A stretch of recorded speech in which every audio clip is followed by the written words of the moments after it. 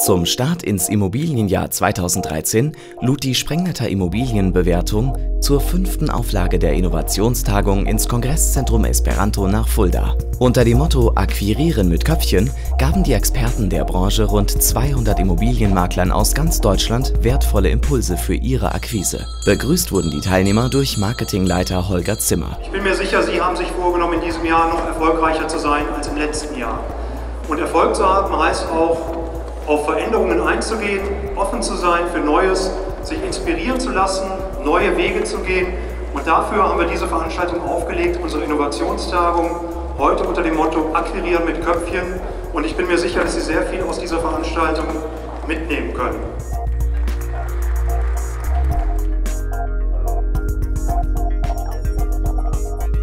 Zur Eröffnung klärte Wirtschaftspsychologin und Markenmanagerin Monika Oskar die Frage, was Marken und Menschen erfolgreich macht. Was mich immer inspiriert hat oder was mir niemals Ruhe gegeben hat, war die Frage, wieso manche Menschen im Leben äh, sind erfolgreich und andere wiederum nicht. Wie gelingt es, sich selbst, seine Auftraggeber und seine Kunden besser zu verstehen? Dieser Frage ging Lars Grosenick in seinem Vortrag nach. Einer wird vorgeschickt und sagt, darf ich bitte vor, ich brauche nur fünf Kopien, weil ich habe Klausuren und ich schaffe sonst nicht mehr, mich vorzubereiten. Das ist besonders wichtig. Und siehe da, die Quote geht von 58% auf 91% hoch. Also Menschen mögen Begründung. Andreas Habert, Leiter der Sprengnetter Akademie, zeigte, wie man sich durch Bewertungskompetenz lokal positionieren kann und so die eigene Akquise erleichtert. Herr Habert, Sie können sich doch nicht auf ein Gebiet beschränken. Um Gottes Willen, stellen Sie sich mal vor, da ruft ein Kunde an, der wohnt in Reinickendorf, ganz im Norden von Berlin und hat eine Villa zu verkaufen. Dann sagen Sie zu dem, nein, da gehen Sie pleite. Da können Sie komplett vergessen. Ja, wenn man am Anfang ist, hört man ja auf Fachleute. Ich habe aufgezeigt, dass der Immobilienmakler in der heutigen Zeit sich breiter aufstellen muss, muss sich als Experte in seinem Markt positionieren können. Und das Ganze kann er dadurch erreichen, dass er in dem Bereich Immobilienbewertung sich das nötige Know-how aneignet und dann auch wirkungsvoll einsetzt. In einer begleitenden Fachausstellung informierten 13 Unternehmen der Immobilienbranche über Produktneuheiten und Trends. Die Messestände fanden großen Anklang bei den Teilnehmern, die ihr Wissen in angeregten Gesprächen erweitern konnten.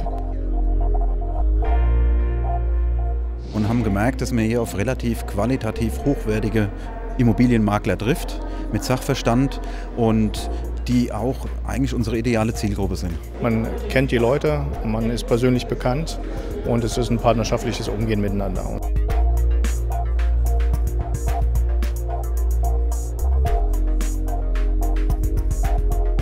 Die angenehme Atmosphäre und die Möglichkeit zum Austausch mit Kollegen rundeten das Vortragsprogramm optimal ab.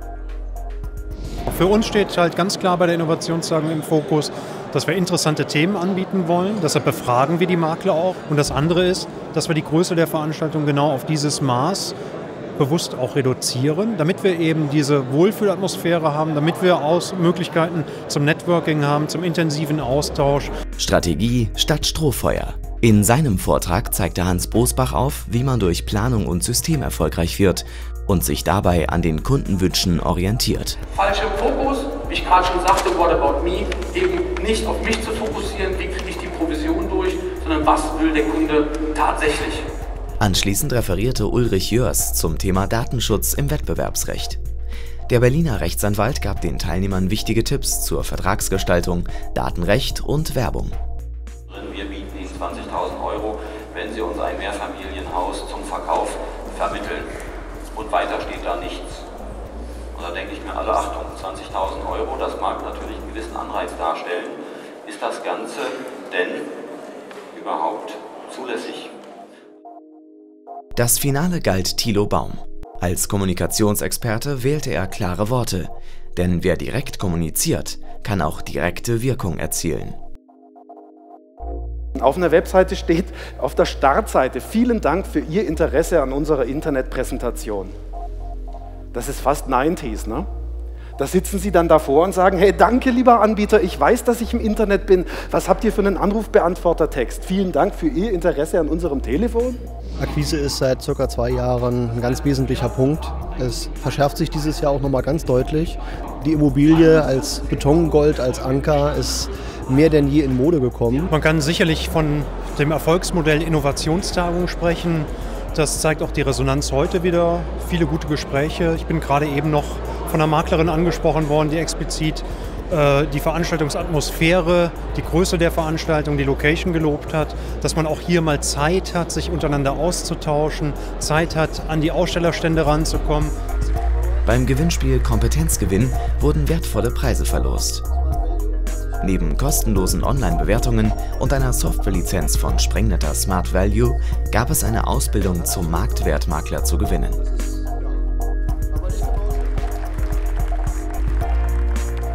Das Besondere ist, ähm, dass wir hier einmal die Referenten haben und gleichzeitig aber auch die Partner, die für Immobilienmakler wichtig sind. Begegnung mit anderen sicherlich, aber grundsätzlich auch erstmal die äh, Konzentration von äh, guten Referenten. Also ich bin hier bei Sprengnetter, weil die Referenten mir hier ein kompaktes Wissen praktisch an einem Tag äh, rüberbringen.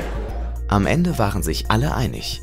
Die fünfte Auflage der Innovationstagung für Immobilienmakler war ein voller Erfolg.